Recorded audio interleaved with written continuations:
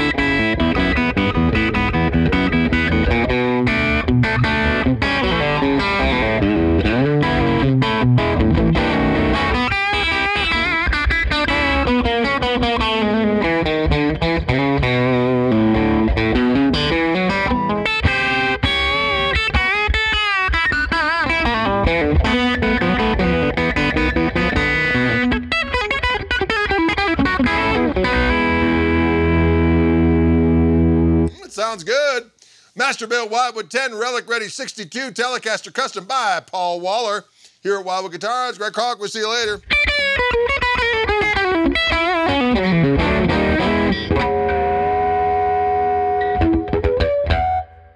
Shikapuka Congo.